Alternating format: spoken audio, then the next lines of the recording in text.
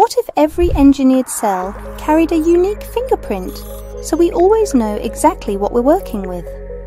Researchers at UT Dallas invented a way to embed genetic barcodes directly into cell lines, real, tamper proof tags that never go away. They use CRISPR to cut at a safe harbour spot in the genome, then let the cell repair add random DNA. That random sequence becomes the cell's unique ID. Why this matters? Many cell lines look almost the same. This stops misidentification and protects intellectual property. Machine learning tools help read the barcode and verify identity. It's faster, more reliable than old methods.